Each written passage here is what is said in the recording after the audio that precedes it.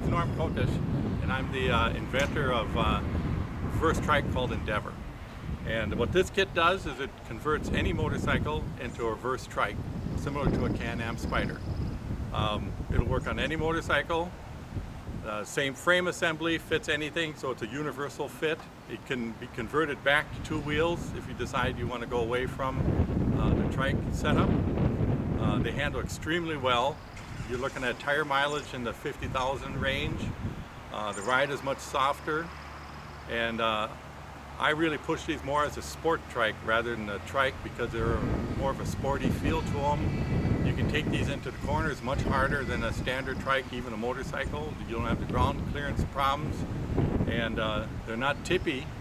At worst, you're gonna you're gonna slide them in a corner rather than tip. So they're uh, very responsive. Uh, the steering is 100% adjustable. That's caster camber, toe, uh, scrub radius is all adjustable on these things, so they're fine-tuned to the bike, and uh, you got a real natural feel. And that's the real important thing is, is the handling.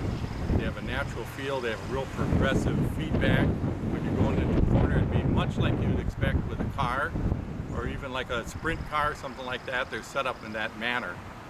Uh, aerodynamics are another issue that I address. I make sure that the body styles conform to, uh, to the wind and the way air flows through them and around them.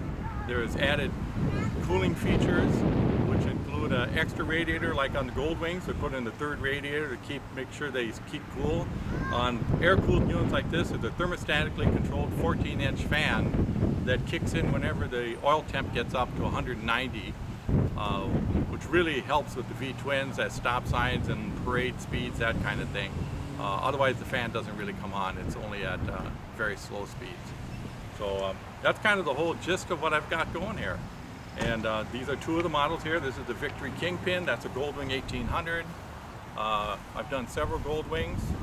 Uh, ST1100, Valkyrie. We got a Vulcan I'm working on right now. So as you can see, it's uh, much everything.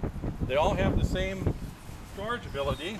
They have a little trunk up front, which you can see I've got a lot of stuff in here, including a coffee cup holder, because this is mine and I like coffee.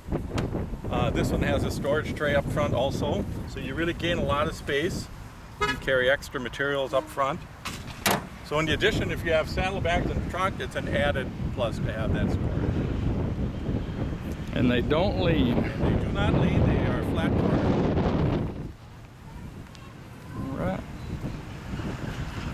Right. Reversetrike.com. Um, thank you for watching.